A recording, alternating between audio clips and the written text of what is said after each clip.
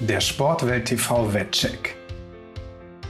Urihime ist das einzige Pferd in diesem Rennen, das bereits gewonnen hat.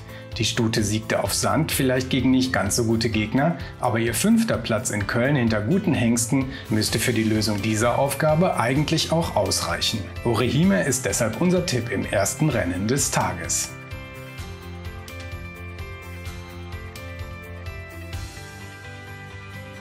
Der England-Import Heather Down stellte sich in Baden-Baden gleich mit einer starken Leistung in Deutschland vor, als er in einem kopfstarken Feld Zweiter wurde. Das war eine gute Form und ein Sieg in dieser Klasse sollte nur eine Frage der Zeit sein.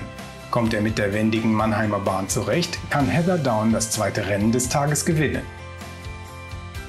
In diesem Rennen für sieglose Pferde sieht es nach einem Zweikampf zwischen Spirit of Success und Karisoke aus. Der England-Import aus dem Formstall von Besitzer-Trainer-Champion Lucien van der Meulen kostete 11.000 Guineas und sollte sich kaum lange in der sieglosen Klasse aufhalten. Karisoke ist deshalb unser Tipp im dritten Rennen des Tages. Der Lokalmatador Earl hatte in seinem letzten Rennen in Baden-Baden Pech, als er schlecht vom Start kam.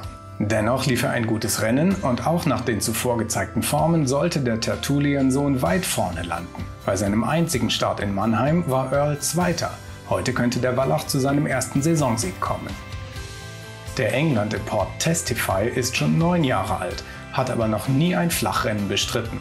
In seiner alten Heimat war der Wallach jedoch ein sehr gutes Hindernispferd und sogar in einem Gruppe 2 Rennen auf der Jagdbahn erfolgreich. Hier wird nicht viel verlangt und der 9000 Pfund Kauf sollte auch auf der flachen gut genug sein, um dieses Rennen zu gewinnen. Testify ist deshalb unser Tipp im fünften Rennen des Tages.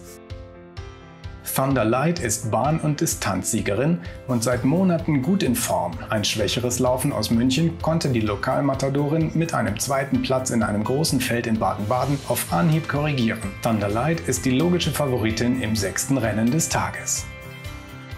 Sternjuwel hat erst fünf Rennen bestritten, davon aber zwei gewonnen. Bei den anderen drei Starts war sie Zweite.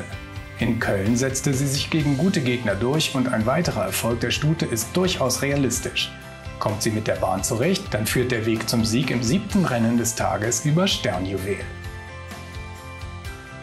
Quiet Waters siegte bei zwei ihrer letzten vier Starts. Vor zehn Tagen war sie in gefälliger Manier in einem Ausgleich 3 in Köln erfolgreich. Wiederholt sie diese Form, dann kann Quiet Waters das achte Rennen des Tages gewinnen.